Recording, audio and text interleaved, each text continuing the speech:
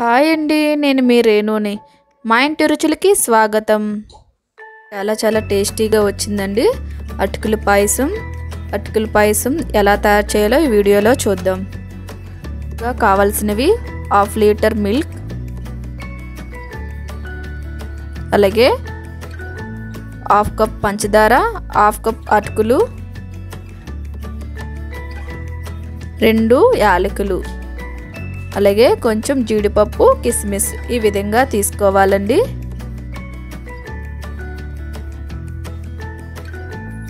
Stove మీద పాలు వేడి చేసుకోవాలి. పాలు మరిగించాలండి. అదేవిధంగా అటుకుల్ని ఒక టెన్ మినిట్స్ నానబెట్టుకోవాలి. ఈ విధంగా శుభ్రంగా కడుక్కొని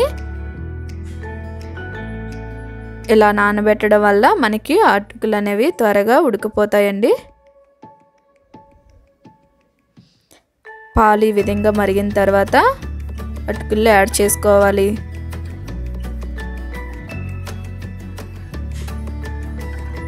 మొత్తాన్ని కూడా ఈ విధంగా యాడ్ చేసుకోవాలి.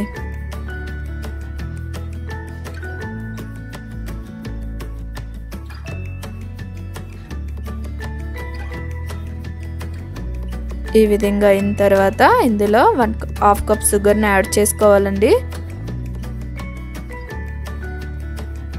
మనకి ఇది పిల్లలకి పెద్దలకి చాలా టేస్టీ ఫుడ్ అండి.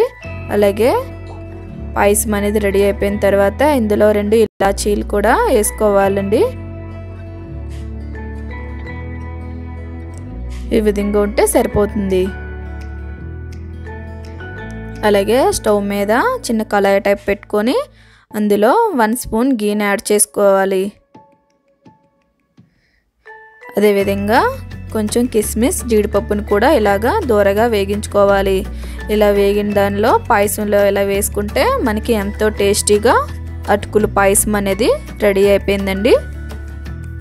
Thank you. For watching subscribe my channel thank you